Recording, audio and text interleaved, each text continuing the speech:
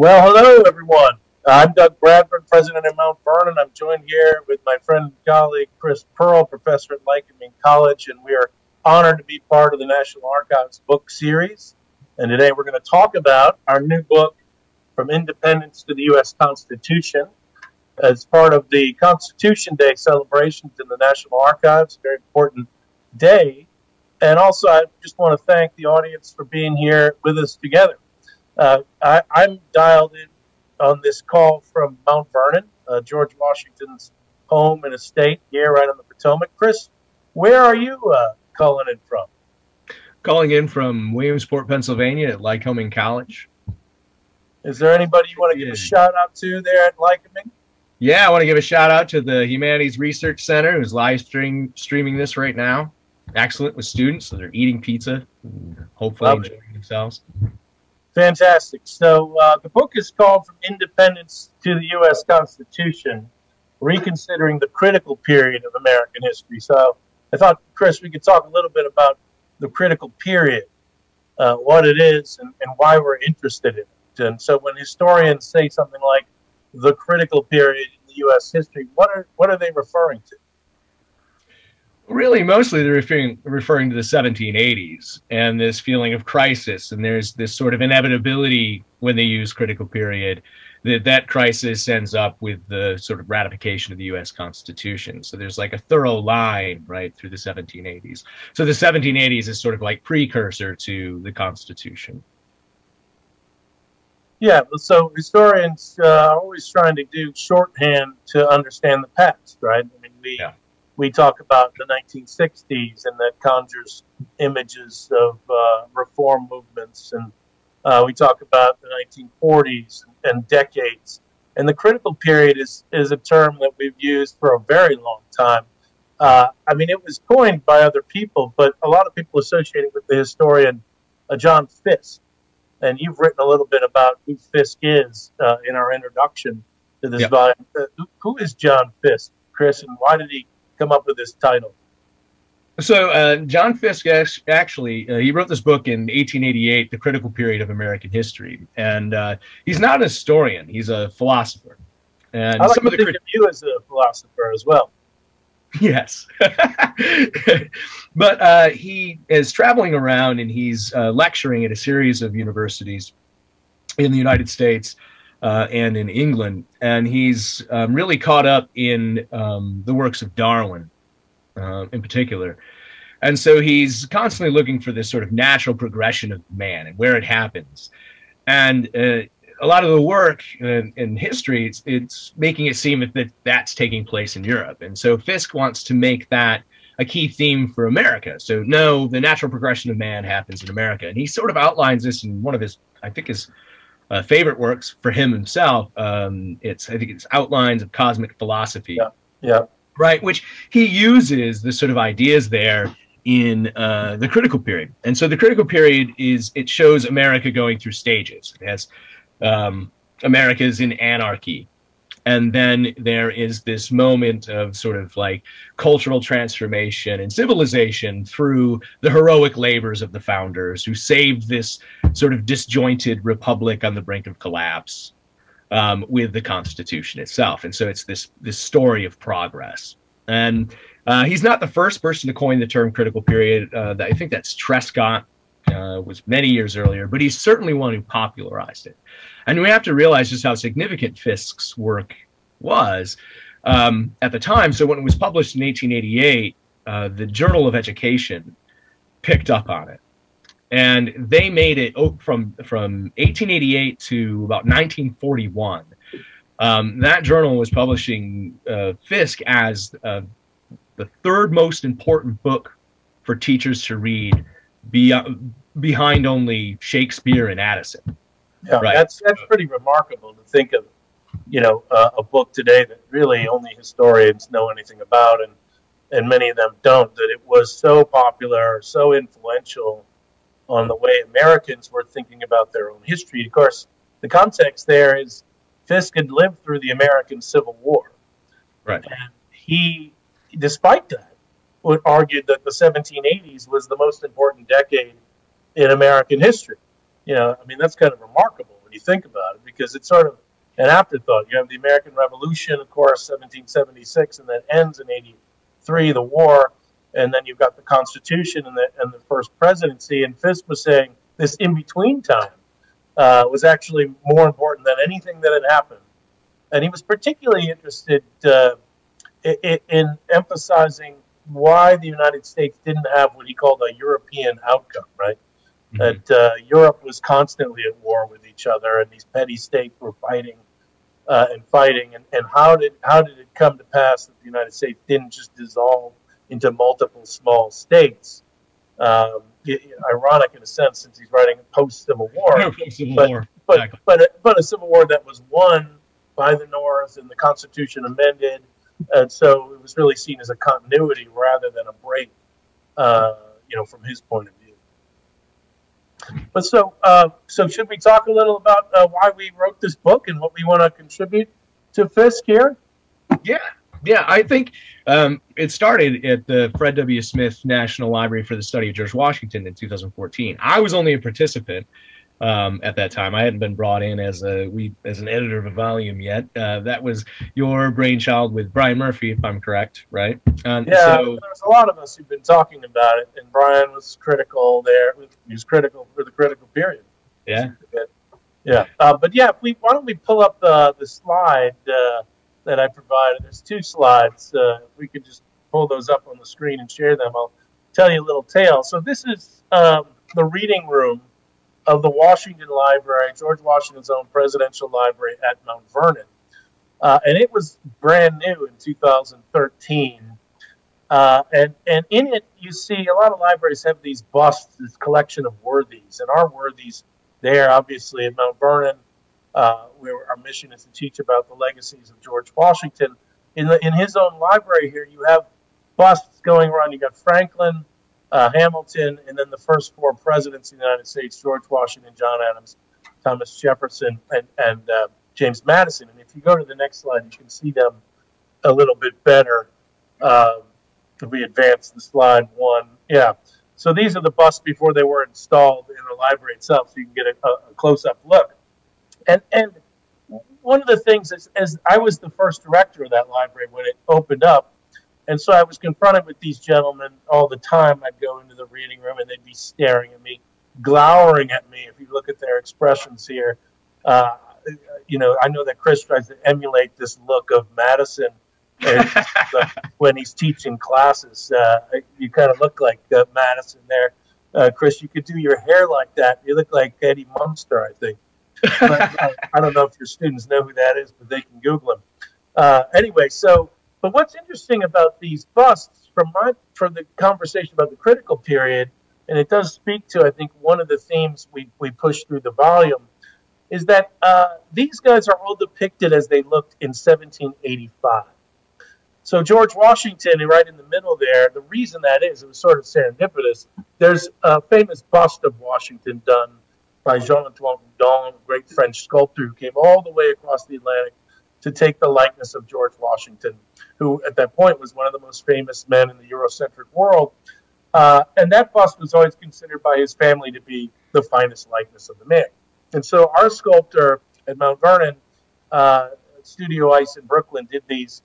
Uh, same person that did the uh, the Constitution Center. If anybody's seen that collection of busts there, but it started with Washington, and, and then said, well, why don't we make these other founders that we were going to put in the library? We'll make them how they would have looked in 1785. So all of these founders we think of as sort of timeless and sort of out of time in a way. Um, you know, Jefferson and, and Franklin, they're depicted as they looked in 1785, as, as good as you could do. Uh, and so the question came to my mind well, okay, what does this mean that we have busts of the founders sort of before the Constitution, but after the War for Independence?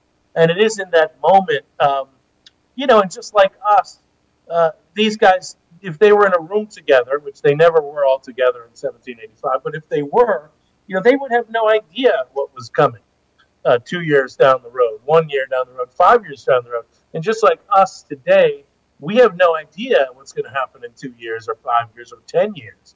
And, and certainly that comes even more to the fore as people who lived through and are living through a pandemic. And so that, that I think is one of the spirit of the idea of taking a look at Fiske again in this book is we asked authors to really try to forget uh, that the Constitution happens uh, in 1789 and look at the years after independence uh, in its own right, but also kind of take attention to what are what are some continuities from pre-revolutionary colonial America. So, what are some of the things that were happening in the 1760s that are continuing in the 1780s, and then also sort of take that long view as a way to get away from uh, the judgment that we put on it, that Fiske himself puts on the moment of the 1780s, because Fiske is, of course, everything's leading up to the Constitution. That's uh, that's the thing that saves the country, uh, and that becomes kind of a political football. We could take the slide away now.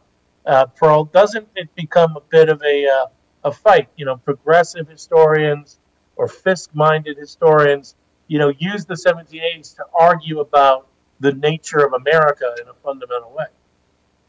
Yeah, they do, and and, and then we kind of lose through that, right? The 1780s yeah. itself. Yes. And what, so, what, for instance, would like a Beardian or a neo-progressive per- approach to the 1780s be? So Fiske made it about the heroic action of the founders to right. save the country from anarchy, which results in the Constitution. Which, thank you, National Archives, for protecting the original Constitution. Everybody should be encouraged to go there in addition to all your incredible archival work.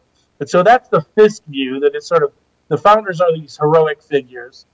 The Constitution is the result of their heroic action, saves the country from a European outcome. What would a critique of that from the, the more of a kind of a left or progressive approach be, Chris? Well, it's it's not heroic that it's self-interested, right? And that this was about sort of taking away from the democratic tendencies of 1776 for um, elites to take power, control, and to make money, right? So fueling their own self-interest, and so it's sort of like these elite interest groups controlling and the narrative and then controlling the politics thereafter through the constitution and which is a continuation of some of the work that had been done in the early 19th century already um, so I'm thinking Beard is really a continuation of some of the early 19th century, particularly um, that came out of uh, William Lloyd Garrison, seeing the Constitution as a corrupt bargain with the slave. Yeah. Right? right. So then you have Beard that brings in this sort of self-interested aspect of the 1780s that leads to the Constitution. So it's not heroic at all. Um, and they're questioning the very nature, in, in essence, questioning the very nature of a critical period Mm. Right? Um, is this a figment of their imagine of the founders, as we just saw those busts, imagination yeah. uh, to achieve their own ends, right. essentially? And we have, for the most part, really um, in the literature fought over that. Uh, what was critical about the critical period, and for whom and why, right? Or is it even useful? Uh, what I found really, um, I, don't, I don't know if I could jump in with this. We're yeah, really interested yeah, yeah. Let's get into so that. I mean, you asked these questions in 2014. Like, we need to think about the 1780s on its own terms, right? And and think about it as continuities from the 1760s. Like, they're still wrestling with problems of the colonial period, which is really significant, right? So they're there and they're trying to problem solve. They're not necessarily. They don't know what's what's coming in the future and that's you know on its own is, is, significant but then when we sat down to frame the volume yeah right? Like, so this was 2014, and then then you and I sat down, I think, in the summer of 2020 to frame this thing and sort of think about what the implications of of what we have here. Mm. Um, I don't know. It became more relevant to me, mm. right? Like, yeah. That, they saw something as critical because of this, you know, because of finances, be, for a host of issues that we can get into.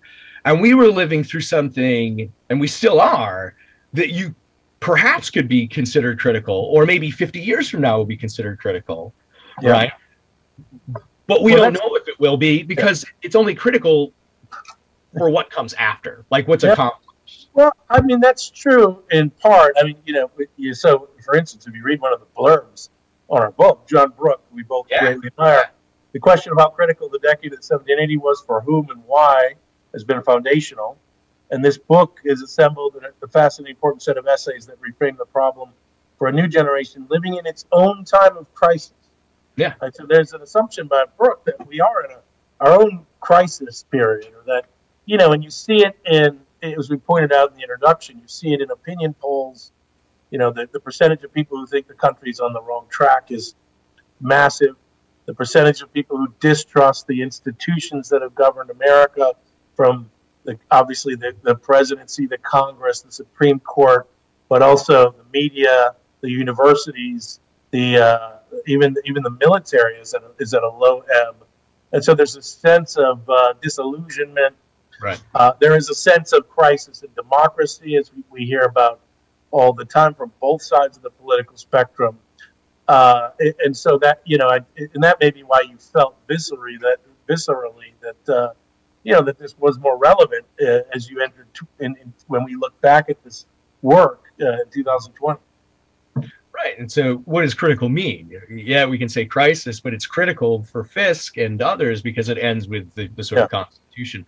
So, and we're living through this moment. So, what do we end with? Mm-hmm. Right, is, is sort of the question that I was I was sitting there when we were looking at this.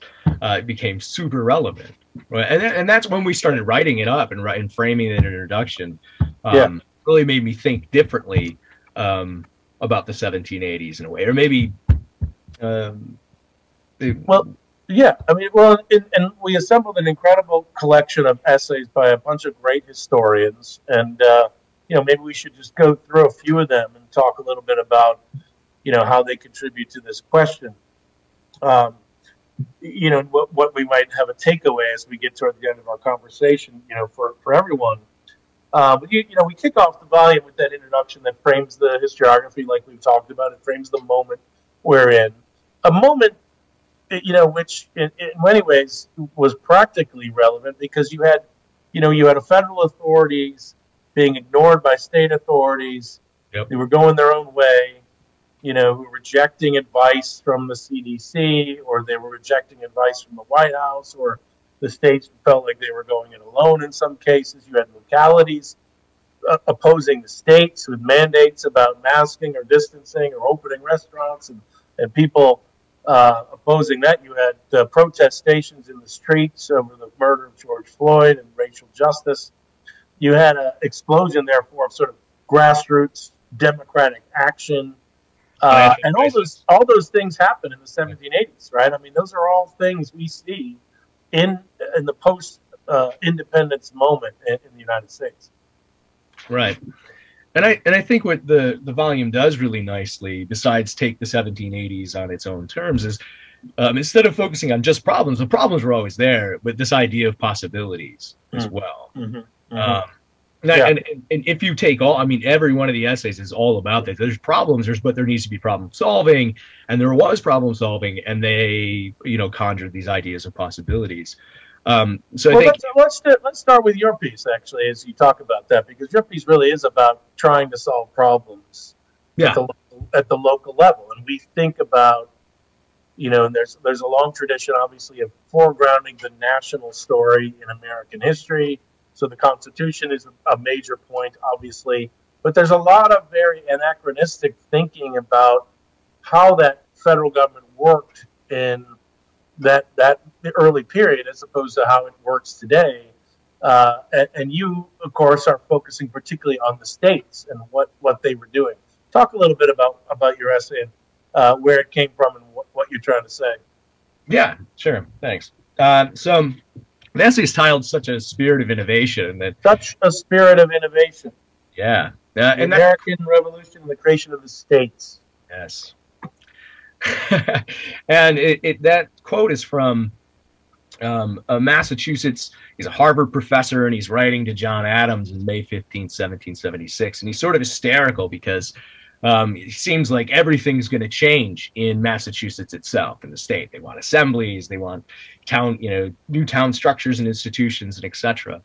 And so there's this outpouring of innovation in 1776, um, but it's all rooted in the problems of the colonial past mm. and how to solve the cr- problems of the colonial past, particularly the problems of governance. Right. right. So give me give me one good example of, of a problem that they're trying to solve and that you see as a broadly a broadly shared problem across different states.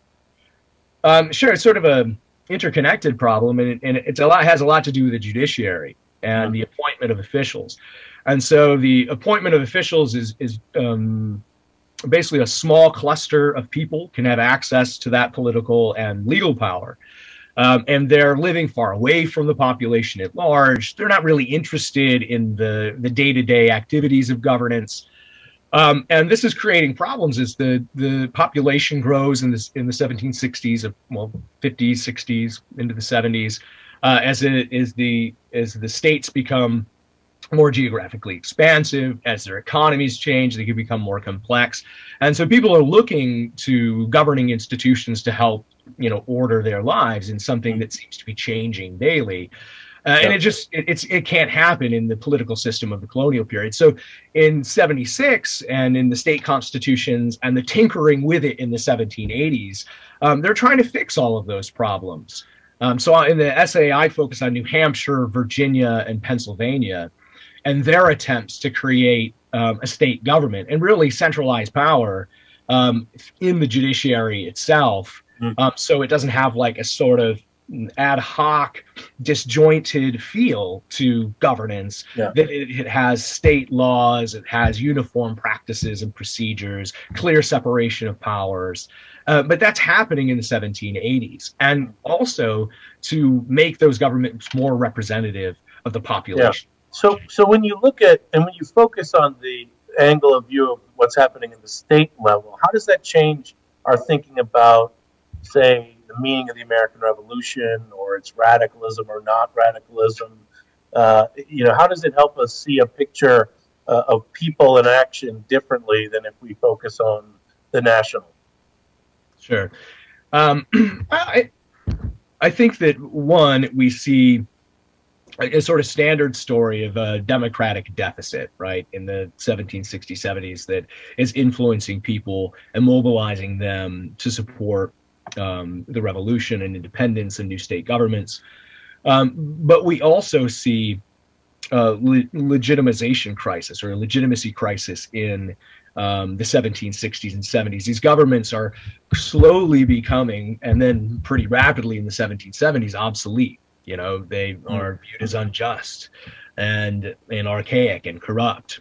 And so there's a problem of legitimacy in the 1760s that's playing out in the 1770s and they're trying to create new governments to have sort of legitimate sovereign power um, that people will recognize. And one of the things that i point out by looking at the states in the 1780s it helps us understand the critical period a little bit more um, because you you can't expect new governments without habits of habits of allegiance and obedience and opinion to just function seamlessly overnight. There's there's going to be trial and error. There's going to be problems associated with allegiance and and a host of other issues that they're going to have to work out. There's a lot of unintended consequences in what they create in say 1776 in a constitution that will need to be worked out. So one of the things I point out is there is that um, it might seem like a crisis, but the crisis owes its, itself to the sheer sort of innovation of the period and change. Yeah. And it needed time, circumspection uh, to work in circumspection to work out. Yeah, that, that's a really telling point, and I think the broader point you make, which is really uh, compelling, is the idea that we see rebellion uh, in this period in the 1780s, like Deschamps and others, uh, we see these uh, these opposition or populist movements, and they're really clamoring for better government, for good government. They're not anti-government no. movements and protests. So, uh, which is a which is sometimes I think forgotten. Now, of course, in the 1780s, so we wouldn't call these democratic from a 21st century no. point of view. They don't not. include women as full political participants. They tend to exclude people based in some cases on religion, in some cases explicitly on race. And of yes. course, slavery is one of the important uh, uh, questions of the American Revolution. Is you know what does it do for slavery? How does it change it? A lot of historians uh, who are critical of the Constitution and the compromises that are at play there, you know, claim that the Constitution is itself a pro-slavery document. Again, kind of mirroring the language of uh, William Lloyd Garrison and some of the absolute absolutist abolitionists of the 1830s as a you know compact with the devil. Uh, now, uh, we have an essay in here which takes a little bit of issue with that uh, framing. And can you talk a little about uh, about Nick Wood's piece and what he's going after in the book? Yeah, sure.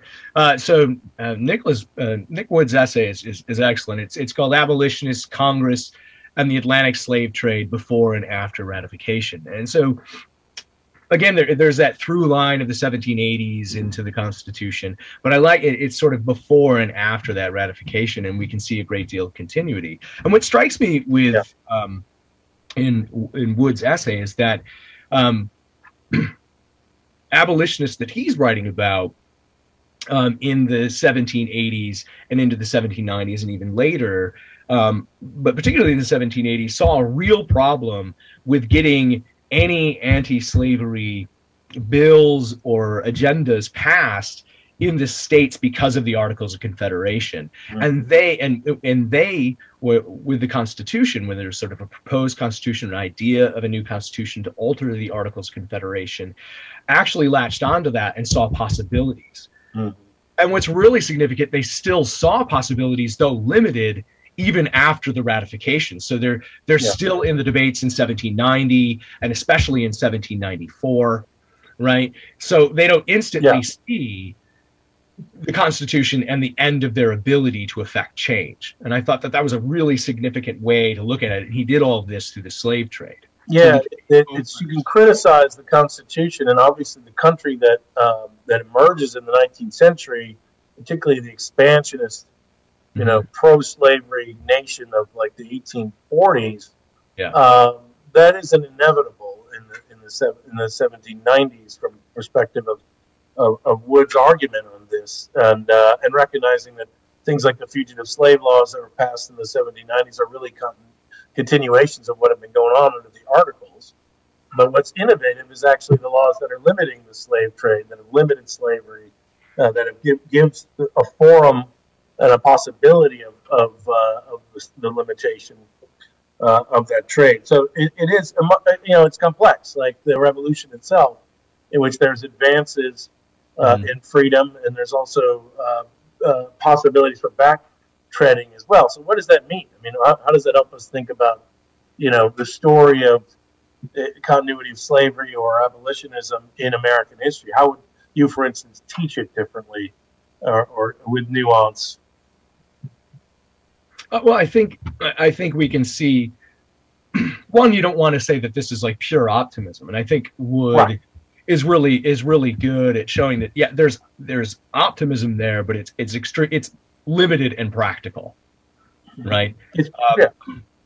But what you can also do is say that the Constitution is is not something that's sort of um, set in stone that slavery will exist and will continue to exist, that there is still possibilities there for change.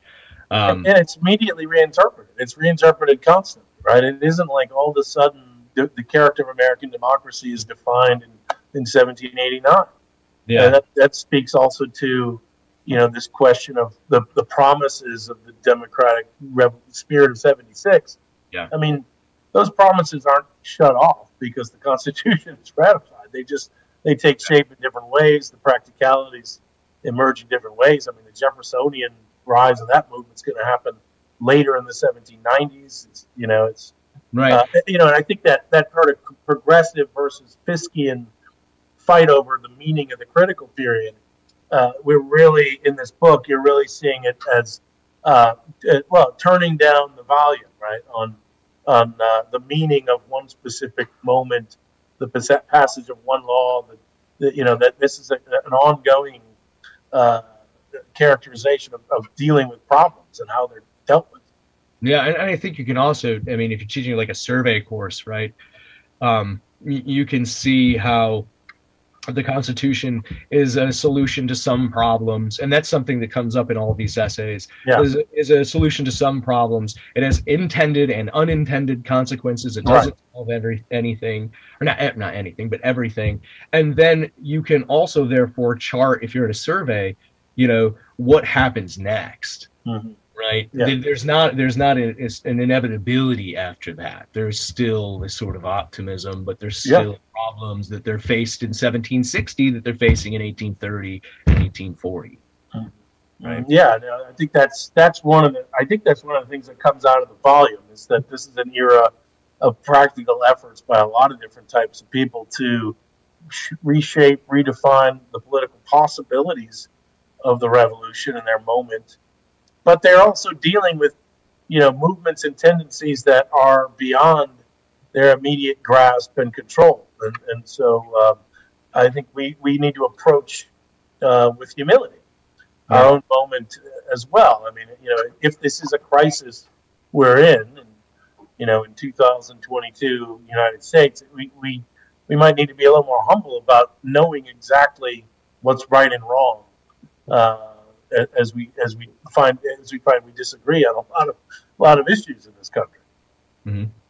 Uh, one of the it kind of reminds me one of the things I, I wanted to talk about is that one of the problems of the 1780s was the sort of lack of a national character, national identity, right?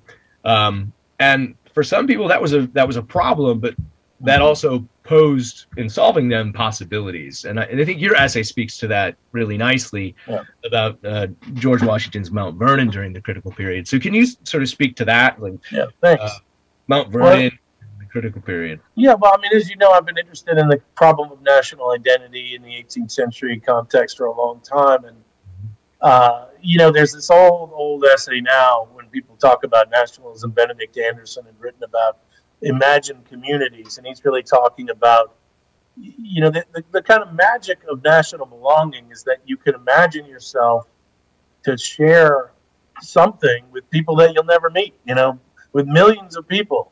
Uh, and, and anderson makes an argument about how print culture and the, and the emergence of widespread print culture in, the, in early modern europe and other places allows individuals to imagine themselves, you know, you know, because you know you grow up in a world where you you know your family and you're members of the same town or village. You don't travel anywhere, but you can imagine yourself as part of this this broader community, and and, and that literature has evolved over the years. But what is interesting about the American Revolution, of course, is that uh, it is a national independence movement that's fought by a bunch of uh, colonies that aren't a nation. They're not a national people. They're not defining themselves as a national people before they're declaring their independence. And even in their declaration, they're really talking about these united colonies are and ought to be free and independent states. They're not saying we, the people of the United of, America, are you know aggrieved and, and movement. Now, there's lots of rhetoric in there that sort of proto nationalism or whatever and so the question then becomes, you know, many historians say, well, there is no nation. America's not a nation, and that has to develop over, you know, the next 200 years. And some people would still say we struggle defining, you know, the essence. Um, but the reality is, in, in the post-independence period in, in the United States, uh, there was a birth of a national consciousness, and it was being driven, but really by small uh, groups of people and sensibilities in the elite, uh, particularly, but also widely held and deeply held. Uh, and and what, what America did have was they had a hero. It had this hero who had uh, had been at the head of the army, and that was George Washington. And one of the great things Washington did, of course, that we all should be thankful for, is he resigned his commission at the end of the war and went into retirement, as he called it, um, to Mount Vernon. And so not only did we have a hero, we had a hero that was emulating the ancient virtues of Cincinnatus, this great Roman, you know, senator who had saved the republic and then retired to his plow. And that was sort of the context, the cultural context by which this first generation of independent Americans imagined who they were. What was distinctive about Americans? Well, one, one thing that was distinctive was that we had this ancient hero reborn and then he lived in a place called Mount Vernon. So Mount Vernon all of a sudden becomes a famous place where you can you can see this person, and uh, and so the essay really just explores uh, what that meant in the 1780s and what I what I come across believing after the research. I mean, and it's it's a house, for instance, the only private house in North America that's featured in an almanac on the directions of how you get from here to here. It's it's everywhere in the newspapers. There's poems written about it. There's there's people visiting there, and you got to remember, Chris, which I know you know, but uh, there is no real capital of the United States in the 1780s. There, you know, the, the, there's Trenton and there's Philadelphia and there's New York and there's various places that the Congress meets, but there's really no stable capital building. There's no stable sense of what is the national city. Um, and so Mount Vernon takes on this this place of what I use. I talk about George Washington's court, and it's a you know a place of, of influence where you have uh, people writing histories and writing poetry and innovators and engineers and others. And so um, it's a way to kind of understand how national influence and identity worked at a time when there was there was no national monuments, there was no national city, there was no unified commerce, but there were these stories you could tell and this place you could see. And I think that the takeaway that I came to come with is that the circle around George Washington, who were he was corresponding with and he was a part of. I mean, they are obviously the original Federalists. That's kind of well known. That means the original people who believed that the Articles of Confederation were inadequate to secure the long term independence of, of the nation. Um, you know, and I see them really as a center of opposition to the Articles. You know, it's sort of like in, in English politics where the uh, where, where you know in the 18th century where the uh, Prince of Wales and his court were opposition to the formal court of the king. It's kind of like that. I mean, you, you have really a circle of people. I argue that they're the ones who coined the term anti federalists. And I also argue that they're the ones who originally defined uh, this period as a critical period, that they're the ones who, who Fiske is quoting, basically. I mean, they're the, the original Fiskians. They're proto Fiskes.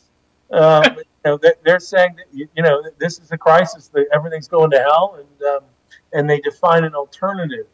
But they have that pessimism that's essential, obviously, when you're when you're defining something as a crisis. But they also have this optimism that they can shape, you know, they can change it and shape it and, and make it happen. And so, um, anyway, it's uh, it is an effort uh, to, to describe this particular place at that moment, and I appreciate your kind words about it. Um, and so, it's the, probably the most Fiskian of our essays.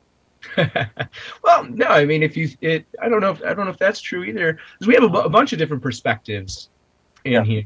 So I'm thinking um, we have two essays um, in this book, so we have seven altogether, plus a really nice conclusion and an introduction. Um, we have two essays in there that are on commerce and mm-hmm. finance, yeah. and and and on you know in the grand scheme of things, they're very different in what they argue. Um, they're looking at two different things. So we have Dale Norwood's um, essay, "The Constitutional Crisis, crisis of com- uh, uh, of Commercial Crisis," mm-hmm. right?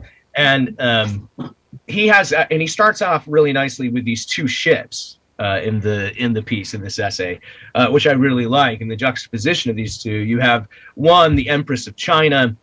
Um, which is setting sail on February 4th, 17- It's a ship. The Empress of China is a ship for our audience. Yep. yep.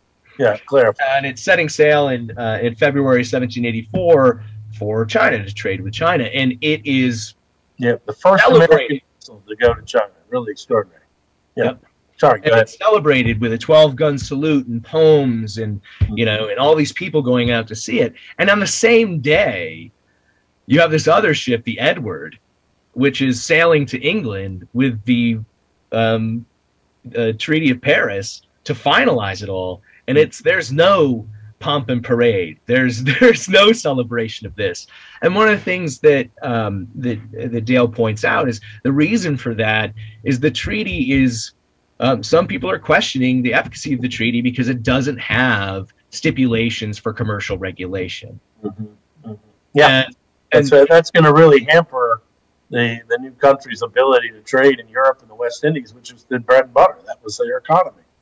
Exactly. So and and the way he shows us is that well for those interested in international commerce and americans financial future and sovereign authority through that um, it is a crisis mm-hmm. right it is a crisis along a sort of, of that's right yeah. sort of Fiskian sense yeah right? but yeah it's a problem that needs to be solved and the constitution helps resolve it because you create a a national power that can negotiate treaties and you know it's not an immediate turnaround, but but yeah.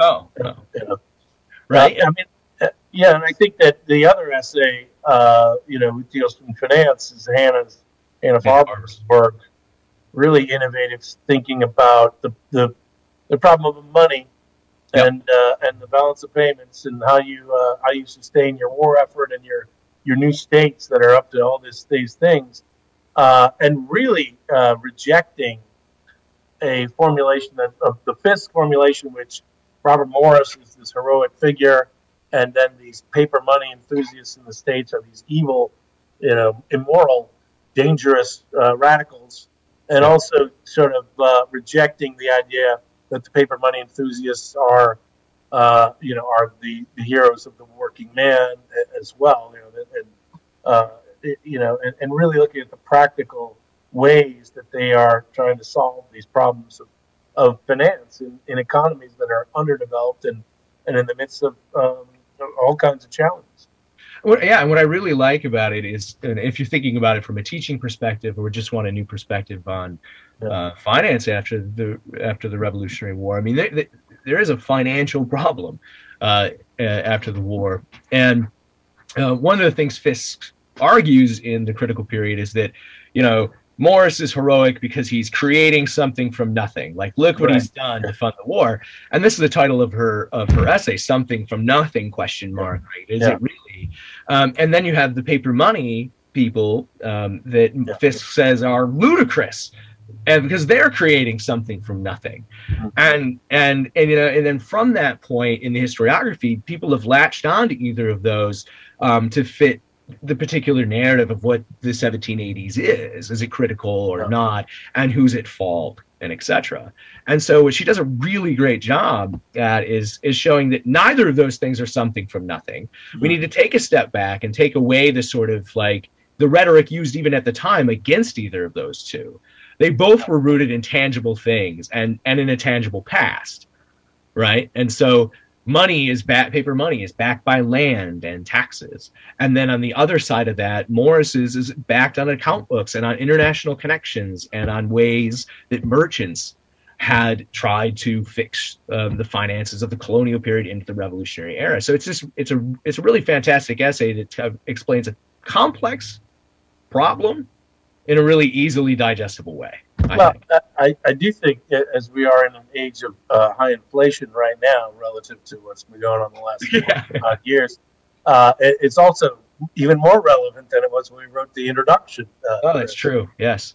Uh, yeah. Because the, that's the kind of uh, one of the contexts in which historians have judged both Morris yep. and the states in these paper money emissions is relative to hyperinflation caused by all sorts of currency issues and the war, and then also you know how you're dealing with economies that are um, that have supply chain problems. I mean, incredible supply chain problems, but yet you need to have circulating medium. You need to have a value uh, that people can agree on, and um, you yeah. know, without all the sophisticated thinking we have today, uh, you see these uh, early Americans muddling through and, and really trying to solve problems uh, in, in ways that are quite innovative.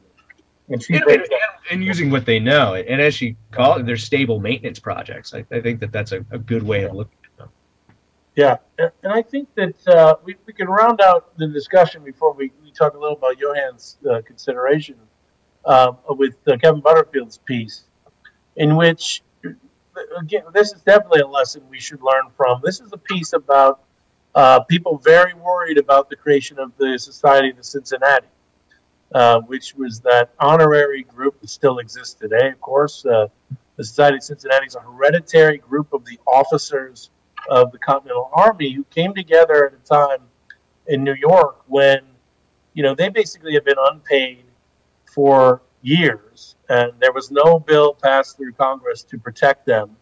And there were all kinds of concerns of what would happen to them uh, when the treaty arrived, because you don't need an army once you're at peace, and they were going to be demobilized.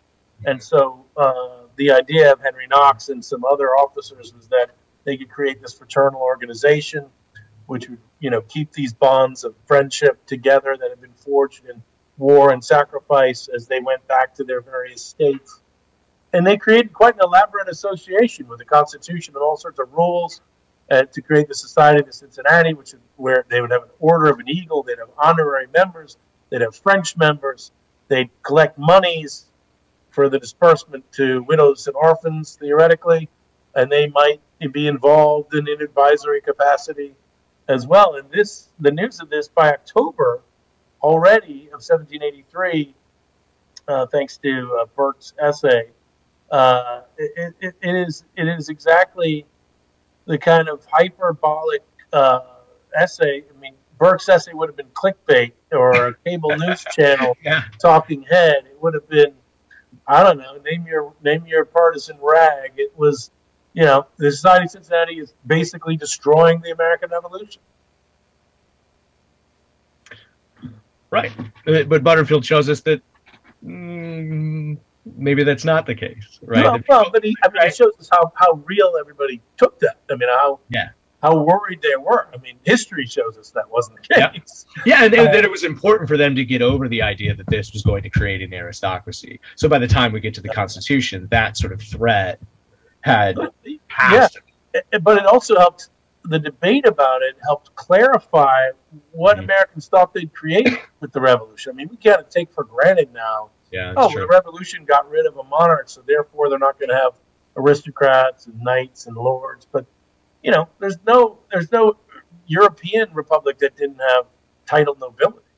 Uh, you know, the the idea of uh, no titles or, or no entrenched uh, hereditary titled powerful church or uh, secular lords uh, doesn't exist anywhere in any complicated state. I mean, that's sort of a fantasy of ancient Greece in you know, in the 18th century, right? I mean, right. It's not until like what is it 1792 that we have the naturalization law where we get rid of titles nobility. It's 92, right? The fight over. Well, well t- yeah, I mean that's official there, but this debate is happening right, earlier, no, right. and, and like yeah, and this debate over the side of Cincinnati sort of helps people refine this notion of what what what are we? What have we created?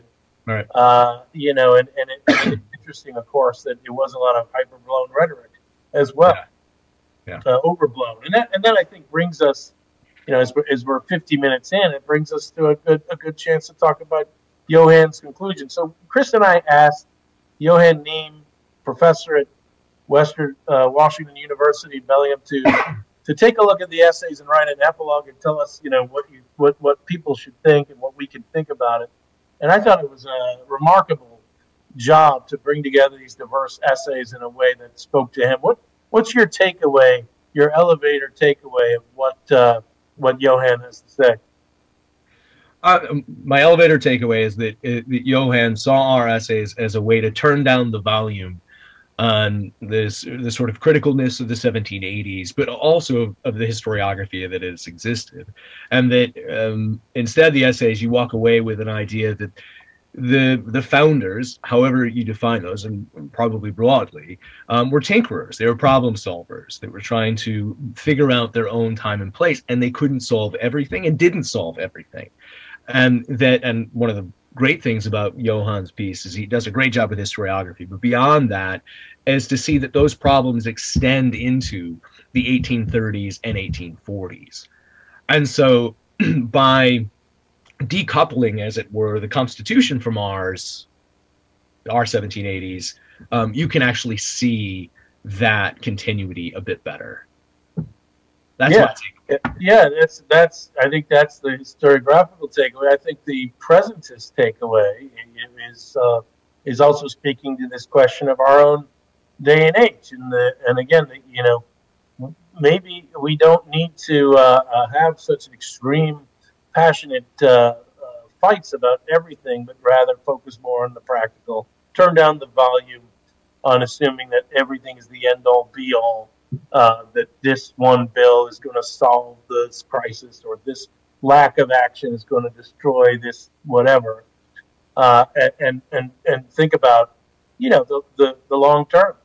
Uh, think about how to get through the moment um, together. It's an interesting takeaway that he he puts on there. I like the optimism of it. Pearl, you're more cynical than I am, a grizzled old cynic that you are. It's, it's very true. But but you know, I, I, you know, we of course know each other from Binghamton University, and in Binghamton they have that big rock sitting out in that field, which is something like uh, you know, education, liberal arts education, or history even is from breadth uh, to depth to perspective, right? Remember that written on that big yeah. rock? Yeah. And I've always said, you know, history provides perspective, and I think it should provide patience with our, our fellow uh, person, uh, our, you know, our, our fellow travelers on this on this tiny little globe flying through the universe. now, who's the philosopher? well, I didn't say I wasn't, but uh, Fiske and I, you know, yeah, we go way back. Yeah. yeah, so this has uh, been an enjoyable conversation. I hope everybody has a wonderful Constitution Day. Read your Constitution with the amendments, remembering always that it was written and ratified, and it was amended, and then it was amended again, and it's still being amended, and the possibilities are always there uh, to amend it. But it is now one of the longest lasting written constitution uh, of, of, a functioning government in the world. I think our system of government is really uh, maybe next to Great Britain, although I think there's been some quite radical changes to their system, uh, are the oldest uh, functioning representative uh, systems around. And, uh, and, and that this is, a, as George Washington called it, the last great experiment in human happiness under civil society.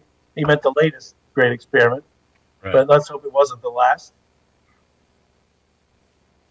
Well, I want to thank everybody for coming as well and, and, and joining in with us and listening to us. This has been a great experience. Thank you very much to the National Archives and thanks, Doug. Absolutely lovely to see you, Chris, again, and thank you National Archives. And we'll wrap it up there say goodbye, everybody. Goodbye, everybody. Buy the book, UVA oh, yes. Press. UVA Press.